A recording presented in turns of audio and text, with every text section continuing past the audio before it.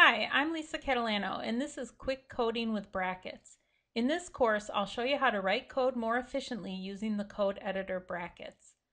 Brackets is an open source code editor for front-end development that's fun to use.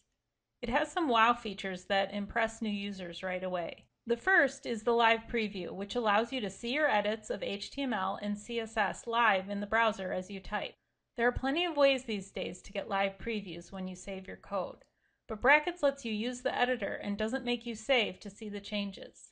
The second and more special feature is the Quick Edit tool, which allows you to very quickly get to the CSS you want to edit while you're writing up your HTML.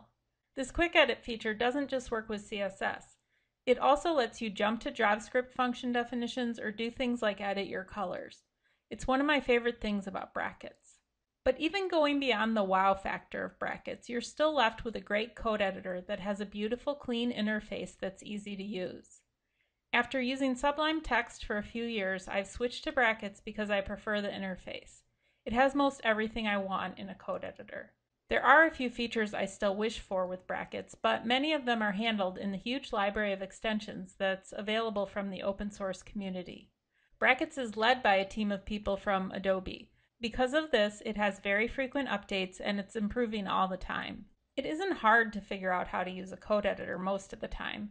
Really, you just need to open it up and start typing code.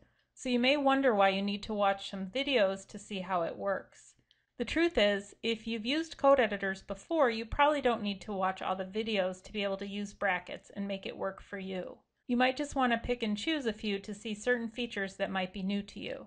However, if you're either somewhat new to writing code or haven't ever explored how to get the most productivity out of your code editor, this course could be quite helpful to you.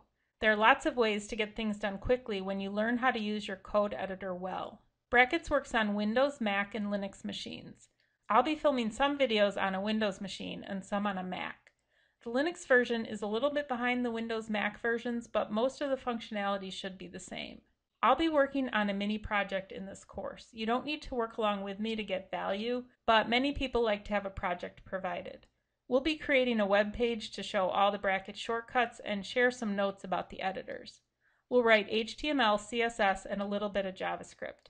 You should know at least the basics of HTML and CSS to get the most out of this course. If you don't know JavaScript, that shouldn't be a problem. If you'd like to learn how to get the most out of using brackets, stick around and I'll do my best to help you get there.